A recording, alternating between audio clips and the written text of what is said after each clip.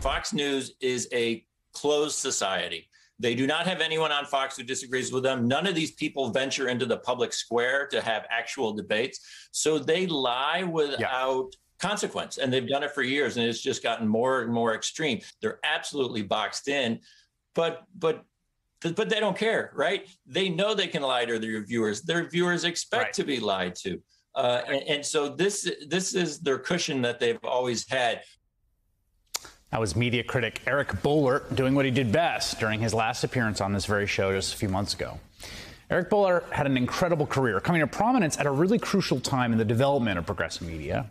He began monitoring right wing misinformation during the George W. Bush years, especially after 9 11 and the run up to the Iraq War.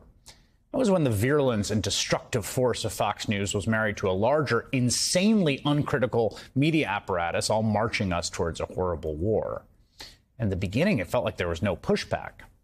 But over time, a new media ecosystem grew up on the blogosphere, as it was called at this time, on this network, in this hour.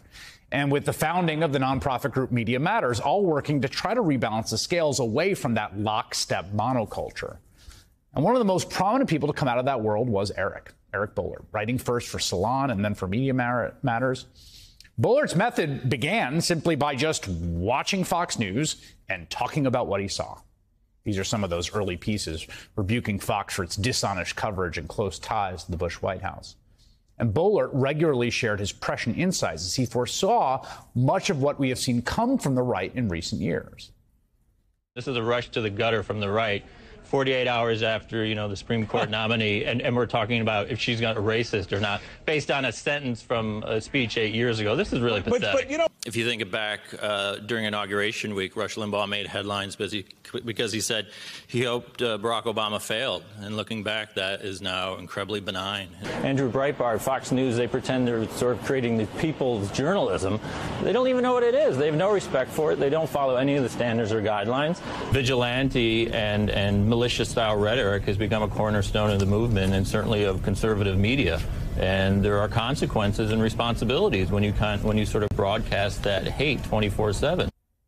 After spending more than a decade at Media Matters, Eric Boehlert's latest project was an independent newsletter he launched called Press Run, where he continued to share his observations into the way that both the right wing media ecosystem and the mainstream media work. We often benefited from his thoughts and expertise when he joined us on this show, and I, along with so many others, were just shocked, gutted, and saddened to learn that he passed away this week at the age of 56 when his bike collided with a train in his hometown of Montclair, New Jersey. The tributes have poured in, including from former Daily Show host Jon Stewart, who said he greatly admired his passion and tenacity, and Hillary Clinton, who wrote that she will miss his critical work to counteract misinformation and media bias. What a loss. In addition to his insightful work, Eric Boehlert was also just an unfailingly kind, gentle, sweet person, by loved, beloved by those who worked with him, those who admired his work, and of course, most of all, by his wife and two children he leaves behind. I learned a lot from him, and he is going to be deeply, deeply missed.